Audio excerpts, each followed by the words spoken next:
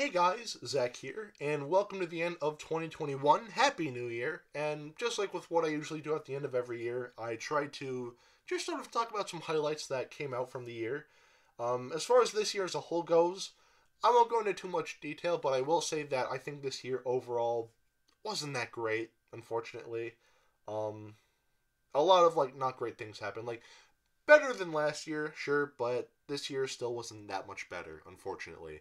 And I don't really see it getting better anytime soon. I think next year is going to be the same, and then the year after that, and then the year after that. And honestly, it's pretty depressing, and it sucks that we have to go through it. But as far as the little guys like you and I go, I think the only thing we can do is just stay positive and just sort of not ignore the negatives, but just sort of talk about the positives that came out this year. So, yeah. Yeah. Oh, um, sorry, I uh, forgot what I was going to say for a second. But this is going to be a podcast like video, so don't expect the background to change or anything like that. This is mainly just so, like, if you want to have something to listen to while you do work or something like that. So just so have, like, you know, me just talking in the background or whatever. So, yeah. Or if you just want to hear my just genuine thoughts about some of these things that are coming out or that came out or whatever, you know, whichever happens, happens, or whatever you're here for, you're here for. I, at the end of the day, I don't really care. Do what you got to do. I just want to talk about uh, some highlights I had of this year. So, yeah. Anyway, I rambled on for far too long. Let's just get right into this. So, right off the bat, I just want to say this is pretty cool. So, a game that I've been really wanting to play for almost 10 years now is Jurassic Park Operation Genesis. Now, this game, like, I remember seeing it, like, I first got into Jurassic Park when the 20th, uh, 20th anniversary happened in 2013. I saw it in theaters, it blew me away, and I just loved it. And then I discovered Jurassic Park Operation Genesis, which I was obsessed with Zoo Tycoon 2. So when I found out they made a game like that, but with Jurassic Park assets, I thought that was really cool. I thought, I gotta have this. Unfortunately, the game cost like 300, like 200. At the time, it was very expensive, and I was very, like, sad because I've always wanted to play this game, but I never could. So, yeah, whenever I found links online, like, oh, this is how you download it for free, it always messed up my computer and I had to fix it, which was very, very upsetting. But, you know, yeah, also that's the garage opening. I'm sorry about that. But, yeah, so for the longest time, I never got to play this game. The closest thing I ever got to playing it was in 2017. I played a modded version of it, but that doesn't really count too much. Uh, it wasn't until the beginning of this year that I found a good site and I downloaded Jurassic Park Operation Genesis, and yeah, I downloaded it. At first, it didn't have sound, but then I found another version with sound. So yeah, unfortunately, it was missing the music, but overall, I played through Jurassic Park Operation Genesis, and I you know, got to five stars on the main like campaign or whatever, and it was great. Jurassic Park Operation Genesis is a fantastic game, and I love it to death. Definitely one of the best games in the Jurassic Park franchise. Uh, there are some minor things I don't like about it though. I don't like the building constraints uh, in the game. They give you like a limit of like what you can build. Like, oh, you can only have eight hatcheries. You can only have like this amount of fences, and I don't really like that at all. But thankfully, there's a way to go into the game and just sort of like get rid of that limit, and, or at least change it to like from, you know, change it from like having only eight hatcheries to nine thousand nine hundred ninety nine hatcheries, which is really cool.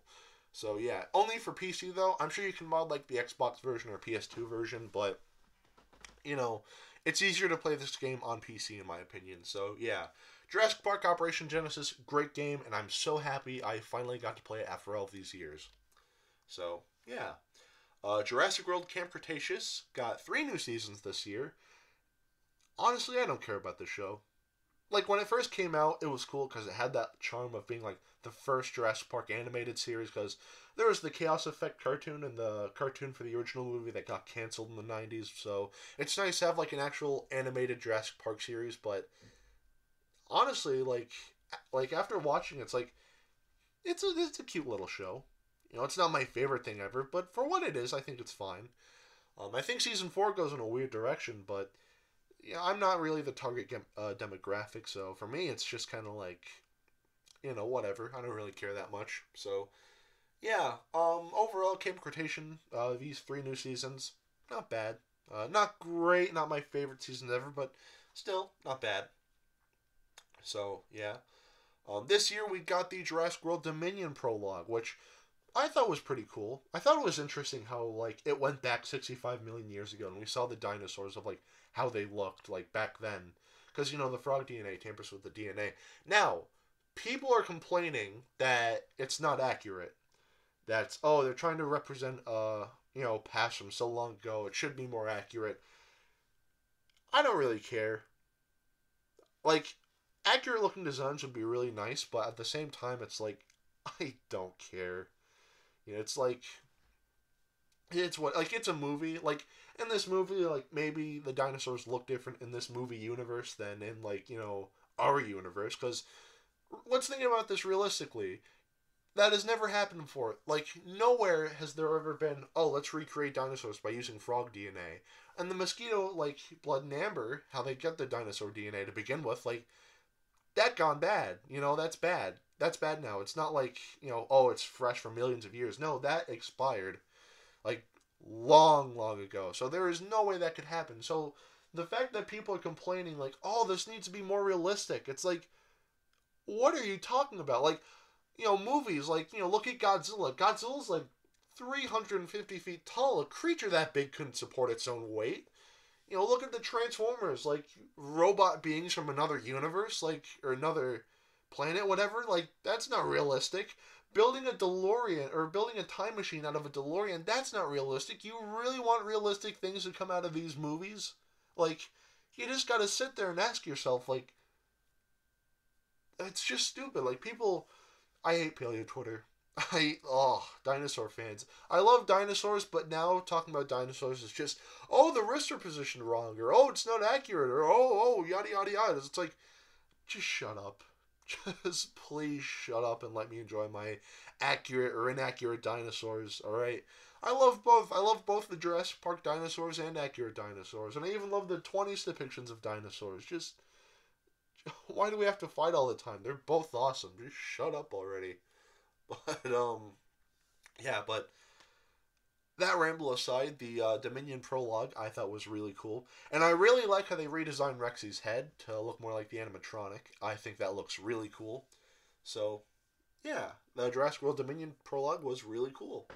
Uh, Jurassic World Evolution 2. This game is fantastic. Now, when Jurassic World Evolution came out, the first game, it blew me away because for a while I've wanted to play Jurassic Park Operation Genesis, but when they announced that game, it's like, dude, this is incredible. Like, another Jurassic Park building simulator. Like, that is awesome.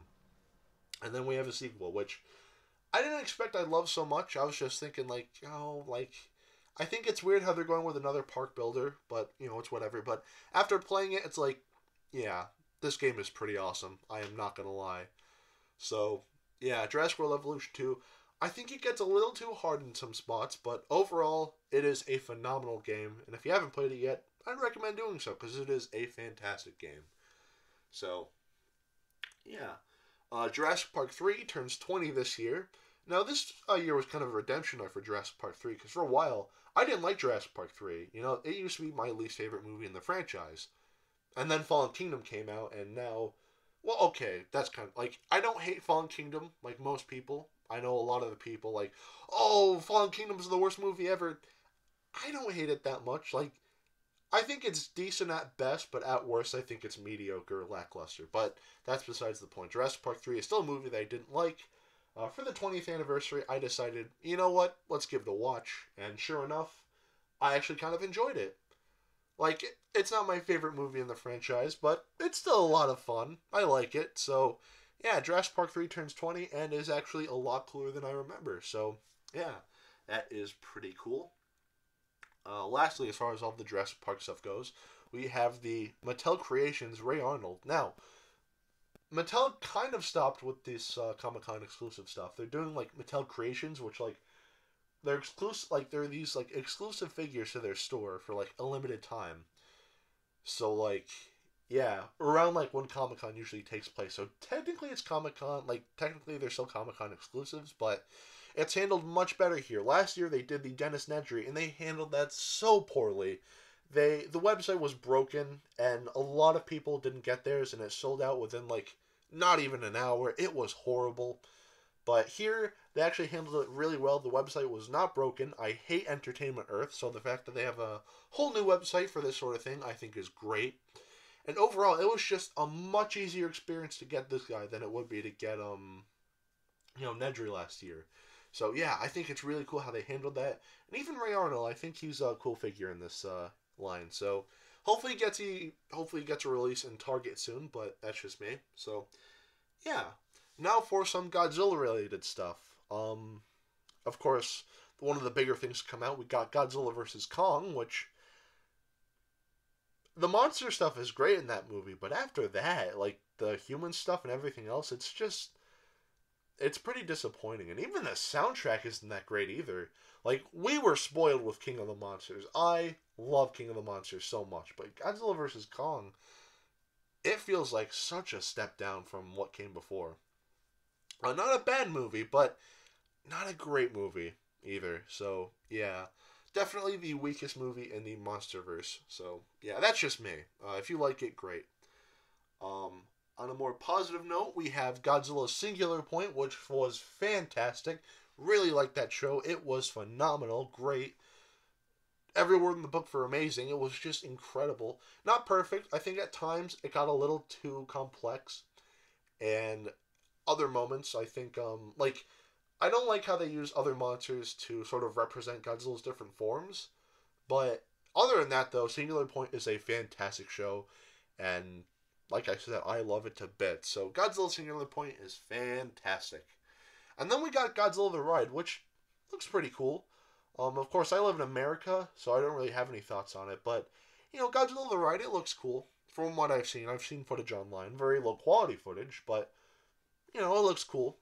So a little 4D ride, like you know what you see at Universal Studios, but yeah, it's whatever. I like Godzilla's design there. I think it looks great.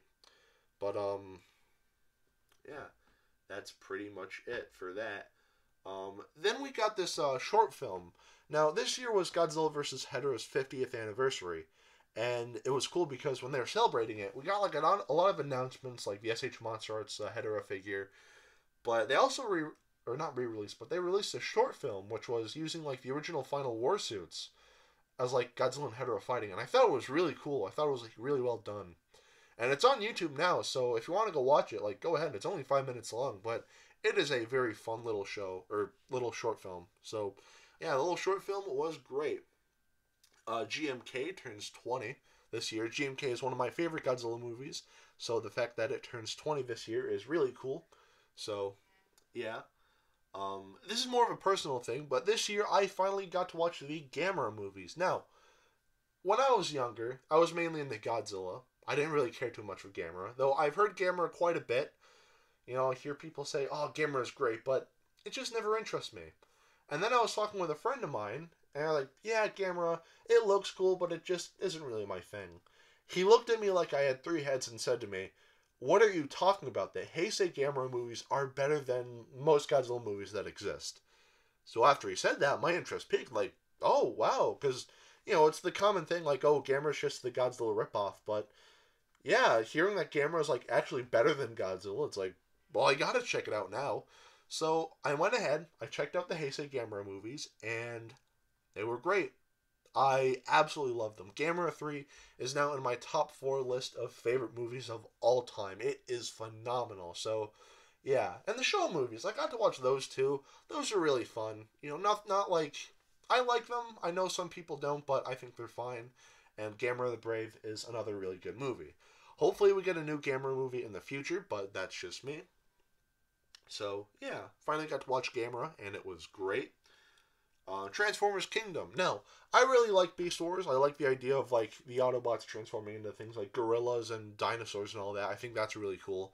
So it's really cool that in the toy line they started to like incorporate that, which I think was really cool. Like I like G1, but I think it's time to do stuff based off of other things like Beast Wars which they did, and I think they did a great job with. Some of the figures I think are a little bit too complex to transform, but other than that, I think uh, Transformers Kingdom is great. You know, I, I haven't seen the Netflix show, and to be fair, I don't really care to see it. So, yeah, Transformers Kingdom, the toy line was great.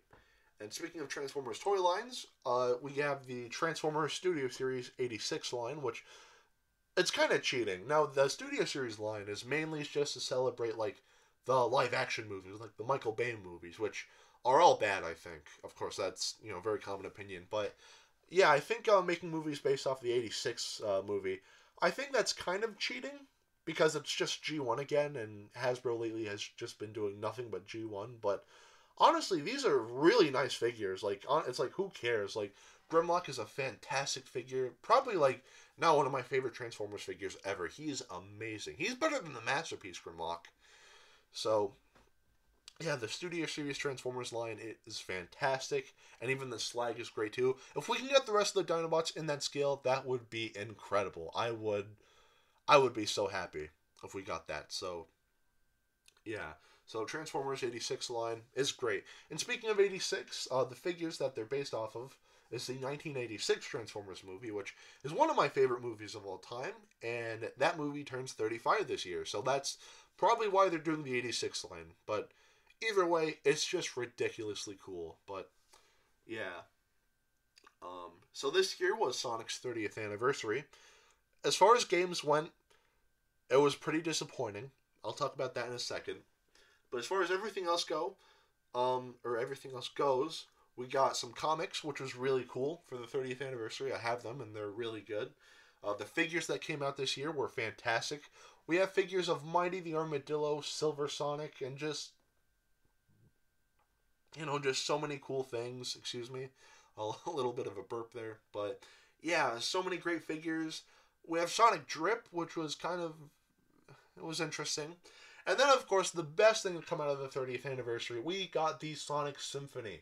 That was fantastic. It was great to hear all these classic Sonic songs just orchestrated in this beautiful, like, recreation. It's so good. It's on iTunes. I downloaded it at day one. It was just, oh, it's so good. I wanted to cry a couple times. I know I'm a grown ass man crying over a blue hedgehog, but it was just so good.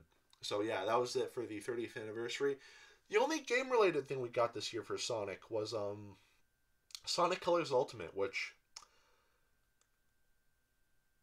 I don't have, but from what I've seen, I've seen glitches that look pretty horrifying and just really shocking. But yeah, but I don't have it, so I can't really give you my thoughts. So yeah. Um so this is something that's kind of disappointing. Roger Craig Smith is no longer voicing Sonic except he is. Now, at the beginning of this year, he made a tweet saying that he will no longer be voicing Sonic. And no one really knows why. Like, it wasn't really announced. He didn't, like, maybe he quit. I don't know.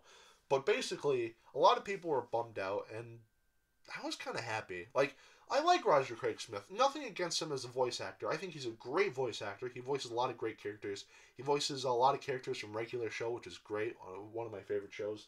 Um, Actually, this is something funny. Roger Craig Smith actually voices Udesky in the Lego Jurassic uh, World game for the Jurassic Park 3 section. And I think that's really funny. So when I was playing it, I just kept calling Udesky Sonic, but that's besides the point. Um, but I think he's a great voice actor. Plus, you know, he loves birds, so in my book, anyone who loves birds is automatically cool. But he just isn't Sonic for me. To me, Sonic is supposed to be this like fifteen year old like kid, like he's energetic. He's kind of like Bugs Bunny in a way, but Roger just makes him sound like this out of breath forty year old, and it's just he's not he's not my Sonic. I'm sorry. Like again, he's a great voice actor. He's just not my favorite Sonic. Now, when he said he would quit, I was like, oh, are they gonna get Ryan back? Are they gonna get Ben Schwartz or whatever? Are they gonna get someone new? I think it'll be great. But then he came back, and I was really disappointed. But yeah, and he's going to be in the next Sonic game coming out, Sonic Frontiers, which I'll talk about later in this video. But, you know, whatever. Uh, hopefully there's an option to change that game to Japanese, but yeah. Um, so that's pretty much it for that. Uh, this year was also Donkey Kong's 40th anniversary, which was really, really disappointing. You know what Nintendo did? So, Donkey Kong, the original arcade game, I'll be honest, I like the Donkey Kong Country games more, but the original arcade game, very disappointing. Like, or er, no, no, no, not the game. I, I don't know what to, I'm saying. I'm sorry. Um, Donkey Kong, like the original arcade game, is a very influential game for gaming as a whole. If it wasn't for that game, we wouldn't have things like, um, you know, we wouldn't have Sonic, we wouldn't have uh, Conker, uh, we wouldn't have, um, you know, anything like that. So it's just kind of, you know, that game was really influential. And this year was that game's 40th anniversary. So you know what Nintendo did? Nothing. Absolutely nothing. No tweet saying happy anniversary Donkey Kong or anything like that. Just nothing. At most, uh, they tweeted about Monster Hunter, and all the replies were just, Where's Donkey Kong? Where's Donkey Kong? And they had to delete that tweet and make it again because, you know, they didn't want to deal with uh, the people asking for Donkey Kong. And it's like, acknowledge the monkey, please. Like, this is one of like gaming's biggest icons, and you're just gonna ignore him like that. Like, why? It's so stupid. But I don't know. Uh, really disappointing. Hopefully, we get a new game soon. Hopefully, we get a new game with King K. Rool as the main antagonist. Uh, people want a 3D game. I don't care if it's 2D or 3D. Just a new Donkey Kong game with the Kremlings back. That's all I want. So, yeah, Donkey Kong's 40th anniversary, kind of lame, but whatever. Uh, speaking of anniversaries, Conker's Bad Fur Day turns 20 this year. Uh, Conker's Bad Fur Day is a game that I've been wanting to play for a while, but I just never had access to it because like I don't have an N64 or an Xbox or anything like that, so I never really had access to this game, and it was really upsetting. But uh, Nintendo decided to kind of drop the bomb and just be like, "Hey, so like we're gonna add uh, N64 games to our library, but we're gonna charge like like fifty dollars for it, which is kind of a scam, I think. So I just decided, you know what? I'm just gonna emulate these games. You guys are kind of lame now. So I emulated Conker's Bad Fur Day, and it is a phenomenal game. It's really funny, of course, and I think for the most part it controls fairly well. Um, I think um, it's War and Spooky Time or whatever, or It's Spooky. Those two chapters. I think those are horrible in the N64 version. Like hor like just horribly designed gameplay there. But other than that, the rest of the game is very solid. So Conker's Bad Fur Day is now on my list of top ten favorite games. I don't know where specifically, but it's definitely in there, my top ten list. So yeah, I want to play the remake because I hear that's better, but that's just me. So yeah, that's pretty much it for Conker. Um, this year we got Mario 3D World plus Bowser's Fury, which was pretty cool. Uh, it's a fun game. I like Mario 3D World. I think that's a really nice game.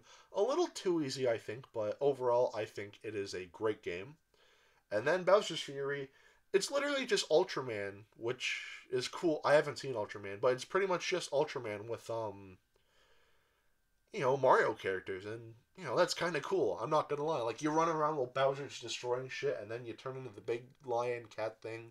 I think it's really cool. So yeah, Mario's Fury or Mario's Fury. Uh, Mario 3D World plus Bowser's Fury, I think, is pretty cool that it came out this year. So yeah, um, the Mario movie cast. Jesus Christ. So like, what do I even say here? Like Charles Martinet, he's voicing Mario, but the thing is, um, or no, he's not voicing. He's the usually he's the voice for Mario, but he's not voicing Mario in the movie. Instead, they're having Chris Pratt voice Mario, and Seth Rogen is Donkey Kong, and uh, Jack Black is Bowser, and Charlie Day's Luigi. And what kind of movie is this gonna be? Oh, I don't. I I honestly, I think um peop, if you just look up people's initial reactions to this, that's pretty much how I feel. It's just, it's it's just a shit post. But yeah, that's pretty much it for that. Smash Ultimate DLC is no more. Yeah, this game it's done. Yeah, the DLC is done, and with the exception of like a few DLC characters, maybe like definitely Banjo and maybe Steve. Actually, Sephiroth too, but I think most of the characters, as far as like DLC characters go, I think they're really disappointing. Like I think the Mii costumes are way more interesting than the actual characters themselves. But yeah, and I know a lot of people wanted Sora, and honestly, I'm happy for them. But as far as I'm concerned, uh, I don't care. Like I, I, I just don't care. I'm glad people are happy, but either way, we got King K. Rool. He's the only character I really wanted. So yeah, other than that, I'm happy. So, yeah. Of course, also we have the Switch OLED model. It's just the regular Switch, but with a slightly bigger screen. And it's $50 more for some reason. So, didn't pick it up.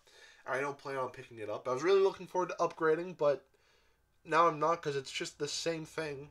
So, yeah, that's pretty lame. Uh, this year was ToeJam and Earl's 30th anniversary. Uh, in my highlights of 2019 video, I talked about that I really liked um, ToeJam and Earl. I liked those series of games, and the game that came out that year was a lot of fun. So this year is the 30th anniversary, and it wasn't it wasn't too bad. You know, like not a whole lot happened. We got I think we got a cookbook this year. That might have been last year, but either way, we got some stuff this year, and yeah, it was just really cool.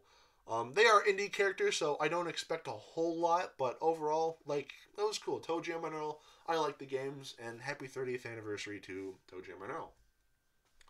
Right, so this is a cool one. So, Samurai Jack is my favorite show of all time. Actually, both Primal and Samurai Jack are equally as good. They are both my number one favorite shows of all time. Now, Samurai Jack turns 20 this year, and yeah, it's awesome. Samurai Jack is a great show. If you haven't watched it, check it out. But yeah, Samurai Jack, fantastic show, one of my favorites. And actually, yeah, no, Samurai Jack is just a great show, and it turns twenty, and yeah, it's really cool. So yeah, um, straight out of nowhere, Scooby Doo meets Courage the Cowardly Dog. Now, a lot of my favorite shows are classic Cartoon Network shows. You know, like I just said, Samurai Jack. Um, I really like Ed, and Nettie, um, uh, Codename Kids Next Door, Courage the Cowardly Dog, The Grim Adventures of Billy and Mandy, Cow and Chicken. I love those shows. I love classic Cartoon Network. So when they announced this, I was really excited. I was thinking I was just I was gonna love the Courage stuff, but hate the Scooby Doo stuff. But no, I actually loved both. Like this movie was a lot of fun. I liked it a lot, and yeah, it's great to see. Um, you know, it's great to see Courage again. So, yeah. Unfortunately, uh, something I do want to talk about that's actually very tragic. Um, Thea White, who is the voice actor for uh, Muriel, she unfortunately passed away this year, which very upsetting. You know, very sad. She did a great job voicing Muriel, but this was the last thing she did before she unfortunately passed away.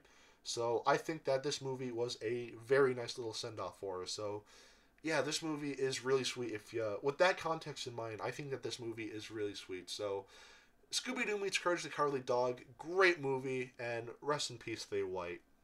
So, yeah, ooh. This next thing I want to talk about. I know I said I want to be positive, but this thing is just really sad to me. Seven Deadly Sins. I talked about this last year, but God, this show breaks my heart. Like, I think the first season was great.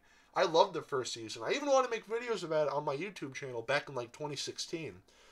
But as the show went on, it just got worse and worse and worse. It got way too complicated. Characters were getting ruined left and right. The animation got worse, and overall, it's just not good anymore. I don't think it's good anyway.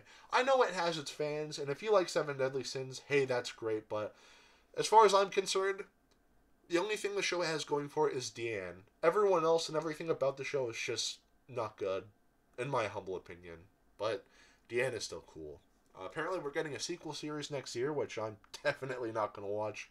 This season, this last season was um, really disappointing. So after that, after this season, I think I'm done with it. The movie came out this year. That was kind of fun, but notice the keyword there. Kind of like the show is still dead to me. But um, yeah. But on a more positive note, uh, Miss Kobayashi's Dragon Maid season two. Now, I really like Miss Kobayashi's Dragon Maid. You know, it has some questionable moments in it, but overall, I think it is a great show. I don't really like anime, but Dragon Maid is definitely my favorite if I had to pick one. And season two came out this year, and it was. It's literally Miss Kobayashi's Dragon Maid, but better. Like they improve on so much. There's just so much here. Um, yeah, like visually, like the animation looks great. Like the first season had great animation, but this new season, like it just looks phenomenal. Like the characters are great, and overall, this is just a great you know new season, and definitely like this is what you do. You don't overcomplicate it. You just stick to the you know the usual format, but add some stuff to it. And I think the show like season two does a great job with that. Um, I think it starts off a little weird, but after that, like that doesn't last too long. Like after the first two episodes or so, like it gets really good. Now, when this show, like when the first teaser trailer dropped, I know a lot of people were complaining about Lulu. I think that's a stupid name, by the way, but um, they were complaining about her and how she's supposed to be 16 years old, but she has humongous breasts, which really quick, like I'm going to talk about some kind of touchy stuff here. So, like, if you're uncomfortable with this, um, just kind of like um, mute or whatever. I'll like uh, shake my hand in front of the camera when I'm done talking about it. But um, yeah. So, whatever. But yeah, no. Um, so people are complaining about that, which people are saying like, oh, if you like this, you're a pedophile, or oh, if you don't like this, like you know, just this big thing.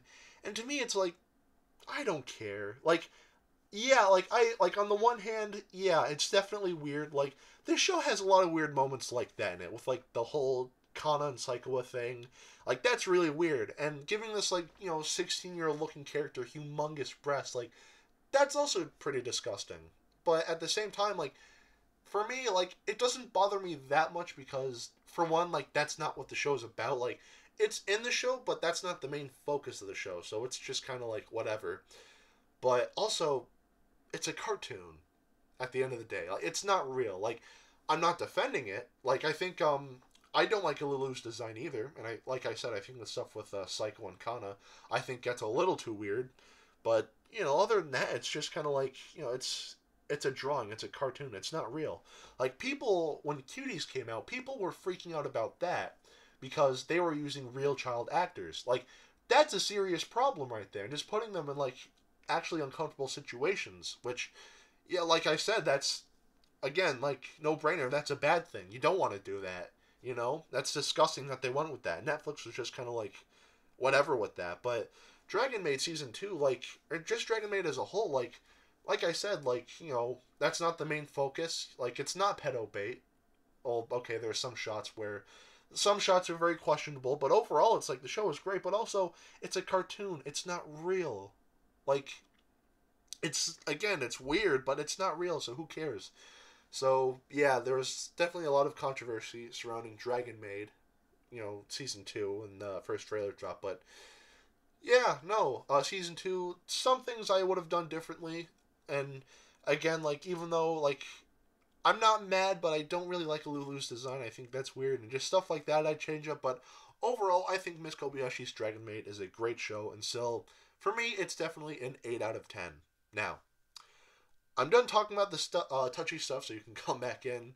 So, yeah. Uh, one last thing I want to talk about is we got to not only 400, but we got to 450 plus subscribers. Guys, that means the world to me. You guys are amazing. You know, I remember I always say this when I reach a milestone. When I got to 100, I was blown away. I felt like this is it. This is as far as I'm gonna get. But we're almost at 500, which is like halfway to a thousand. That's crazy to me. So, yeah, all you guys subscribing to my channel and checking me out and just you know liking my reviews and everything like that. That means the world to me. You know, like I'll be like I don't make videos for views or comments or anything like that. I make YouTube videos because I like getting a figure and I like talking about it. I just think it's really nice to just sort of express how I feel about a certain figure. So, yeah, the fact that you guys enjoy my content, you know, that actually means a lot to me, you know. 450 plus, that's not as much as other YouTubers like PewDiePie and like, you know, Darman or whatever. Ooh, I really just used Darman as an example. Um, PewDiePie and like, um, uh, who's good and oh cold ones. They're they're awesome. So yeah people like cold ones um pewdiepie uh moist critical and those guys. Like yeah they have like millions of subscribers which that's not even close. But at the same time like 465 i think like as we're recording this that still means a lot to me. So you guys like again like thank you so much. You guys are the best. I love you. So yeah, and that's pretty much it for the highlights of this year. What do we have to look forward to next year? Of course, we have Jurassic World Dominion, which I'm not hyped for, but I'm definitely looking forward to it. I think it's going to be an alright movie. Uh, the Lost World Jurassic Park turns 25. Uh, the Lost World is my favorite Jurassic Park sequel. I think it's the best one out of the bunch, but overall, that's uh, that's going to be 25 next year, so that's pretty cool. Uh, Prehistoric Kingdom is coming out. Essentially, it's like it's like uh, Jurassic World Evolution, but it's main it's like uh, more accurate looking dinosaurs and like it's gonna have like mammoths and like extinct animals like that. And I'm really looking forward to that. That's gonna be cool. Uh, Sonic Prime, uh, the new like Sonic show coming out on Netflix next year. That's gonna be a lot of fun. Uh, the Sonic movie sequel, the trailer came out. It looks so good. I can't like the first movie was fun, but this one looks really good, and I cannot wait to watch it. It's gonna be a blast. Uh, Sonic Origins, it's just gonna be a collection of uh, older Sonic games like one, two, three, Knuckles, and CD, which, you know, I think that's cool. Uh, Sonic Frontiers, which there's no gameplay footage yet, so it's hard for me to tell. But apparently, Ian Flynn is going to be writing that game, or he's going to be the writer of that game story, so that's going to be really cool. And lastly, we have the Mario movie, which I think is going to be a disaster, but that's just me. So, yeah. And that's pretty much it for this video. So, like I said before, Happy New Year. Uh, good job on making it to the end of the year. And, um, yeah. Anyway, that is it for today. Have a great rest of your week, and I will see you in the next video, which is next year. Peace, Zack out.